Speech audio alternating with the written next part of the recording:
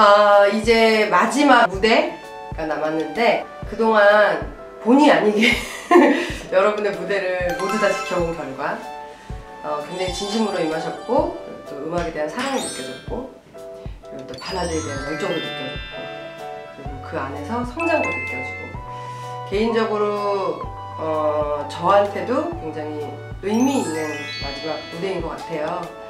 여러분의 무대를 진심으로 응원합니다. 여섯 분 모두 다 화이팅 하세요.